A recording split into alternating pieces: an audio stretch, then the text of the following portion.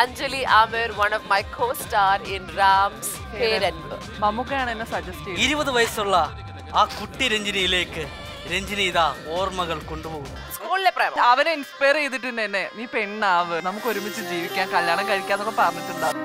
ഒരു കാതിൽ നമ്മളെ മെന്റാലിറ്റി വേറൊരു സൈഡിൽ അല്ലെങ്കിൽ ബോഡി സ്ട്രക്ചർ വേറൊരു സൈഡിൽ ആൾക്കാർ പറയും പൂർണമായി ഷുവറായി രഞ്ജിനി ഹരിദാസ് ഇനി ഇവരുടെ കൂടെയാണ് ഇവരാണെന്നൊക്കെ പറയും.